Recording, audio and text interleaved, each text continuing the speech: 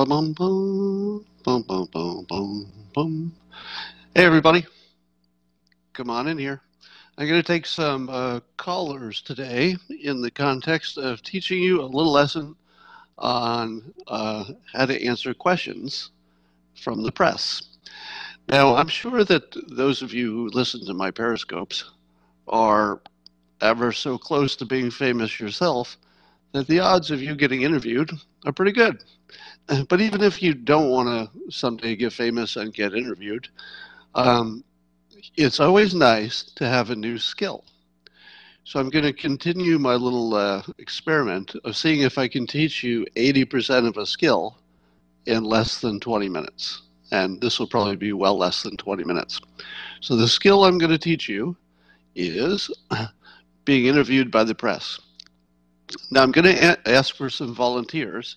So anybody who wants to click the button, the little uh, happy face buttons at the bottom of the screen, which you can only see if you're using a mobile device, I believe, not on a laptop. Um, but if you click that, you can be in line to possibly go live with me. And I'm going to interview you, and I'll only ask one question. So you, you each get one question apiece. And then I'll tell you what you did wrong, and then I'll show you how to do it right. Okay, so anybody who wants to be interviewed, jump into the queue. Let me start with some background. So when I first became an author, and it looked like my book was going to be a number one bestseller, which it was, my publisher wisely said, you know what you need is some media training. And I'd never even heard of that. What the heck is media training? And uh, it was explained to me that Media training is learning how to answer questions uh, in front of the camera, in front of a crowd um, from the media. And I thought, well, how hard could that be? Doesn't everybody know how to answer a question? Wouldn't it be exactly the same as if you know you were talking to your friend? And the answer is no, no, it isn't. and and you really need to have the training if you're going to be in front of the public. And I'm going to demonstrate why in a minute. But one of the uh, the main things you learn in media training is that you don't have to answer the question that's asked. And unless you're part of the hard news uh, news, if you're, let's say you're an author or you're a pundit of some kind who has some, you know, something you're trying to persuade, you don't have to answer the question. You can simply answer your own question. And I'll give you an example. Let's say that you're an author and you're an expert on forest fires and in reforestation after forest fires and preventing forest fires. That's your expertise. You go into a live on camera interview, and the person interviewing you hasn't read the book. And so they ask you the wrong question. They don't even know really what your book is about. And so they say, When did you get interested in, um, in tree rings? And the first thing you say to yourself is, well, okay, I'm not here about tree rings. I'm not interested in tree rings. I'm an expert on forest fires. Has nothing to do with tree rings directly, but I got this question. The, the thing you shouldn't do is, well, actually, that's not what my book's about, because then you have an awkward moment. All the all the audience wants is uh, they want to, uh, oh, damn, I might have to go get that. Uh, I'm going to ignore it. All the audience wants is some entertainment. So when they say, "Tell us about tree rings," and you have you didn't come to talk about tree rings, you say, "Well, I'll tell you, tree rings will tell you a lot about forest fires. Forest fires, and then you you just go into your whatever you were going to talk about anyway." So rule number one, you'd never have to answer a question. Um, if you're there for political reasons or you're a lawyer on TV, then you do need to answer the question factually, or at least you know in some persuasive way. But other people don't really have to. If you're an author, you don't really need to do that. Um, and nobody cares. The, the thing they teach you is that nobody cares. The host will be just as happy that you answered an interesting question, and they'll be happy that you ignored their actual boring question that was off topic. Um, but there are three things that you sort of have to keep in mind when you're doing a press interview. You want you want to keep in mind the facts because you want to you know in most cases you want to be accurate so the facts. You want to protect your brand, so you want to answer in a way that's not only true, but is good for your brand, whatever your brand is. And then there's a third level, and this is the fun part. The third level, and you have to have all of these in your head consciously at the same time. The third level is making sure you don't say something that can be construed the wrong way. So you can answer something clearly and honestly, but it can be done in a way that's so easy to take out of context that you're totally in trouble. That's the one you really have to watch out for. You can't make an answer that can be taken out of context easily, and it takes a long time to get good at that. All right?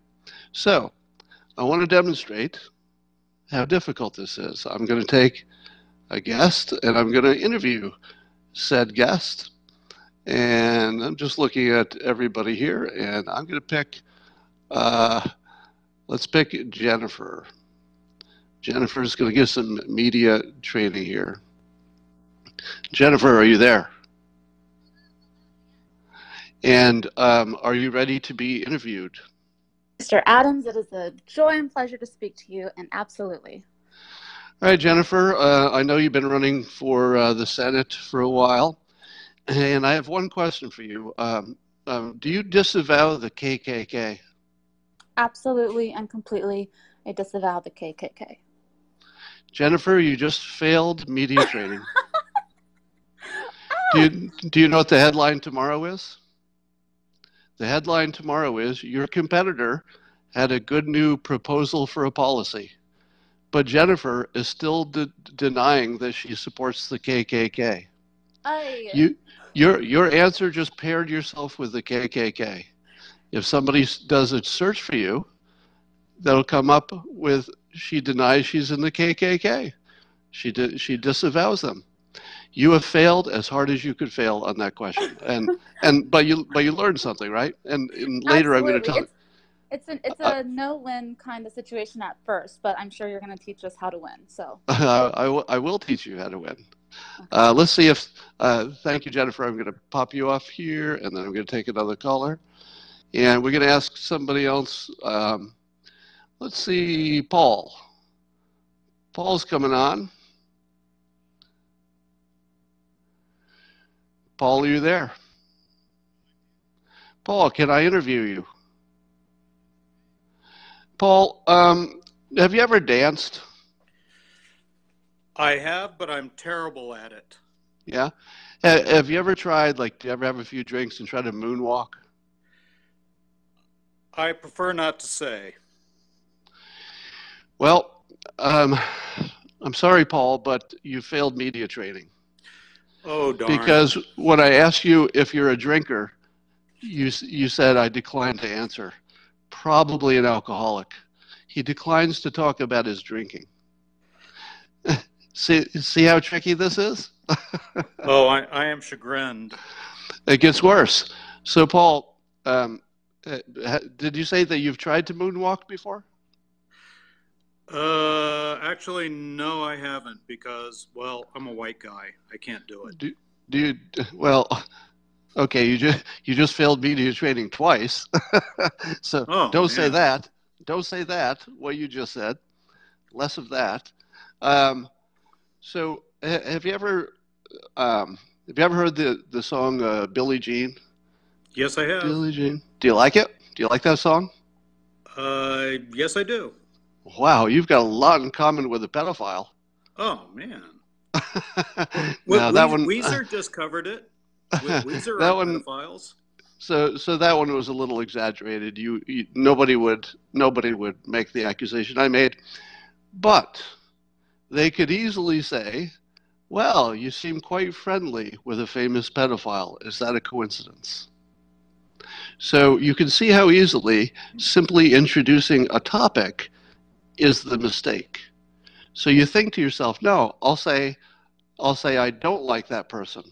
I'll say I disavow that person, and and and your one level thinking that would work perfectly in your regular life doesn't work because by disavowing it, you you made that the headline, and now that's your brand. So you ruined your brand, and you didn't think ahead. Um, I'm gonna I'm gonna uh, take another caller, Paul. Thanks for playing. I have been schooled. All right. So we're going to turn it around now. And I'm going to let somebody interview me. All right. And I want you to ask me the tough question. Let's see if we can get, oh, let's say, uh, uh, I got to pick somebody good here. Uh, I'm going to say Jill. You're all good, but I was looking at your profile pictures and trying to get a good mix of people here. So, um, yeah, I was curious. Um, your relationship with your uh, your girlfriend. We're all interested, in is that back together again? And uh, what made you break up there in the first place for a day or two? All right. Well, I don't talk about my personal life, but I want you to ask me a specific question, and then I want you to, uh, then I, so you if you'd like to Okay, play along.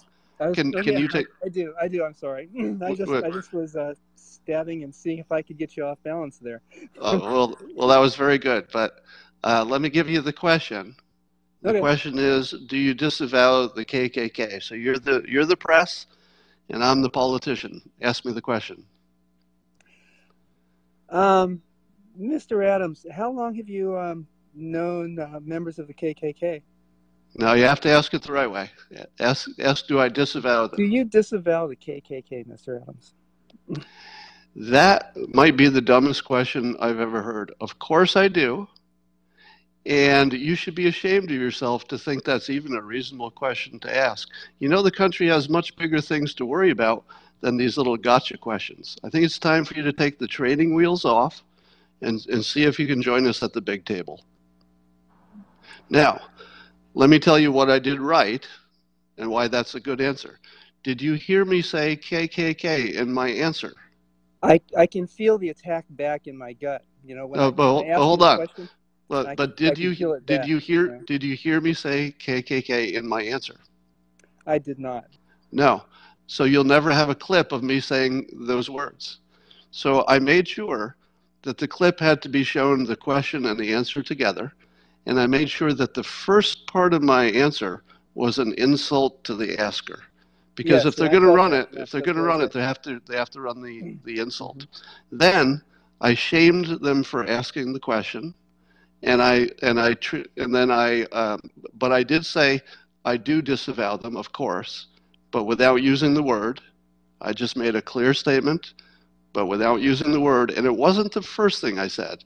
First, I insulted him very quickly. So you don't want to spend a lot of time on that. You just you just say that might be the dumbest question I've ever heard. Of course, I disavow them, and you should be ashamed of yourself for asking these these bush league gotcha questions. Now, I think that's perfect. no, that's no, great. hold on. When when the when the press runs that clip, what what is the interesting part about it? The interesting part about it is that I went all primitive on the asker. That's now the story. The story is how I how I uh, attacked the person who asked the question. So, so Be- the idea is to be merciless in your response. the idea is to be interesting in your response in a way that takes attention from the question. So you want to take attention away from the question and put it on the answer that does not include the question and make sure that people have changed the frame to, God, what a dick who would ask such a stupid question. And you want that to be the clip. And Well, so, I'm, I'm sorry for being a dick, Scott. That's my job. all right, thanks, thanks for playing. I'm gonna Thank you very much. click off.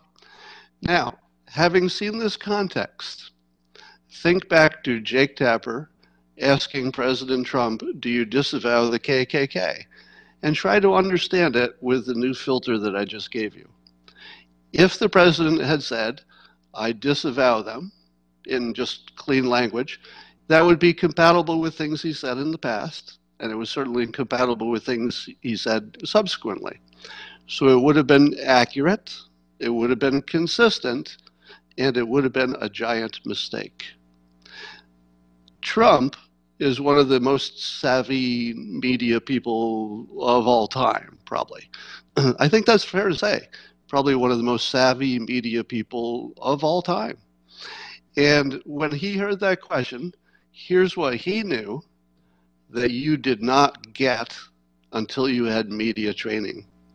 Simply answering the question with the truth, yes, of course I, I disavow them, becomes a headline the next day that looks like this Hillary Clinton has some ideas for health care.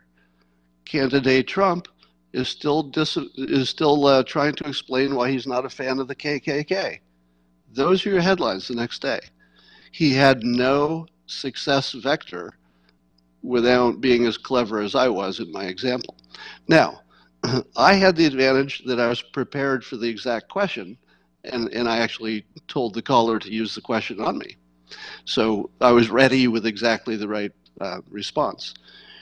You saw Trump stalling to answer the question. So when Jake said, just to be clear, I'm asking you to disavow the KKK, and you could tell that Jake was not quite knowing what was happening because it was such a simple question, and he wasn't, and Trump was not giving a simple answer. Now, Trump's answer was, I would say, possibly true, which is that he didn't hear it through the headpiece. I've done hundreds and hundreds of interviews involving earpieces, and I can confirm that they, more often than you would think, don't work. It doesn't mean it's the head, the earpiece that's bad, just the connection. So, what are the odds that really he couldn't hear the question? Maybe. I wouldn't rule it out, but it's not my personal. Um, it's not my personal speculation. My speculation goes like this: Trump is not like the rest of you were an hour ago. He's an expert at the media. He's an expert at branding he can see around corners a little bit better than you can. And when that question was asked, he recognized it as a trap. It wasn't quite as obvious to you as, you know, do you still beat your spouse? Right? There's no right answer to that. If you say you do beat your spouse, then you're a spouse beater. If you say you don't still beat your spouse, it indicates you used to beat your spouse. There's no right answer. There is no right answer to, as you're running for the presidency, do you disavow the KKK? He can't answer the question without making that the headline tomorrow. And he doesn't want that to be the headline. So the right answer would have been closer to what I did. And I don't think he was prepared for it. You could see his, his gears turning. And I also don't think, you know, it, look how much explanation it took for me to just explain the difference between somebody who's media trained and someone who's not. It's a pretty big difference. And so when I watched it, I had a different filter than most of you did. Because of media training, I said to myself, "Oh, that's a that's a trick question. It looks like it's not, and that's what makes it tricky." Right? I would say 99.99% of all the people who watched it said to themselves, "Good lord, man, could there be an easier question?" This is 2 plus 2 is 4 do you, running for president, disavow the KKK? How is that a trick question? That's just, I disavow them, right? Nope. Not if you have training. If you have training, you know that that question is designed to associate you with the KKK because brains do not hear not. They don't hear disavow. They, they kind of hear them in, in, in a technical sense, yes. But you, you end up associating the target of your trick question with that bad that bad thing. So Trump could see, I'm sure, that this didn't smell right and that there wasn't an easy way out of the question because he kind of had to answer it, but he kind of wanted not to answer it because he didn't want to make that the headline and the association. There was no winning winning path. So, let me take you to an example where Trump did better. Do you remember when um, Chris Cuomo, back in 2015 or 16, I can't remember, interviewed candidate Trump, and the Pope had just said that there were some problems with capitalism. So Chris Cuomo asked candidate Trump the following trick question. He says, The Pope had some criticisms of capitalism. What do you say, candidate Trump? Now, the trick is that for Trump, to disagree with the Pope puts him at odds with the Pope. You don't want to be at odds with the Pope, but you can't agree with the Pope because agreeing with the Pope would say capitalism is bad. And you can't be Donald Trump and say that capitalism is bad. So there was no way you could agree with the Pope, and there was no way you could disagree with the Pope. It was a great trick question. Do you remember how candidate Trump answered the question? And by the way, it was one of the most brilliant answers of all interview questions. It should be this should be the media training clip that everybody learns how to do this. If you remember, he looked at Chris Cuomo and he said, I would tell the Pope to worry about ISIS because they want to take over the Vatican. You see it? Do you see the genius in that answer? Remember, I told you that media training teaches you you don't have to answer the question. It's optional. You do not have to answer the question. So he did not answer the question because it was a trap question. Instead, he moved our minds to ISIS conquering the Vatican. You can't get that out of your head. So, what was the headline? The headline was Trump says the Pope better watch out because ISIS might take over the Vatican. that was the headline. So, he turned the trick question into a headline that makes him look like you know the strongest player on the field because he was tough on ISIS and he's you know bringing bringing ISIS up again. That was exactly the right way to answer the question. The KKK thing, he screwed up, right? So there, there's no nice way to say it. You know, uh, he he flubbed the trick question. Now, if one of you had flubbed a trick question, I would not come down hard on you because, at least until now, you had no media training. So if you, if a civilian flubs a test uh, a trick question like that, you say, well, they were civilians. They're not really they're not really trained on talking on camera and stuff. You can kind of see why they do that. But if somebody as experienced as Trump just smells a trick question and still flubs it, that's just a mistake. All right, that's you know, I'm not going to put a spin on that. That's just a mistake. See, at his level, he should be able to do the ISIS uh, ISIS taking over the Vatican move every time. All right, he should have been able to do that with that question as well. That was the right way to play it. But well, there is a difference. Let me, let me call out the difference with with the capitalism and and I, um, Pope question. Nobody really cared about the actual answer. And I think everybody knows that. Nobody really cared about the answer.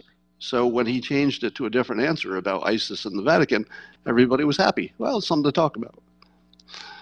But the question about does he disavow the KKK, he couldn't really not answer that question. And you also couldn't answer it without hurting yourself. So that's why the the uh, approach that I told you earlier in the Periscope was the only way to go. All right. Was this useful? Did you learn anything? And did I keep it to 20 minutes? Probably not. All right. Um, good. Well, media training is exactly the kind of stuff you could learn if you wanted to get a personal consult from somebody um, on the Interface by WhenHub app. So I don't know if we have any experts of that type, but it's exactly the right kind of expert to have on the Interface by WhenHub app. So if you were one of those experts and you do media training, consider lo loading down, loading, downloading the free app. It's called Interface by WhenHub, and then you can set your own price, and people will pay you for the phone call. It's a video call actually, um, by the minutes. Um, that is all for today, and I will talk to you later.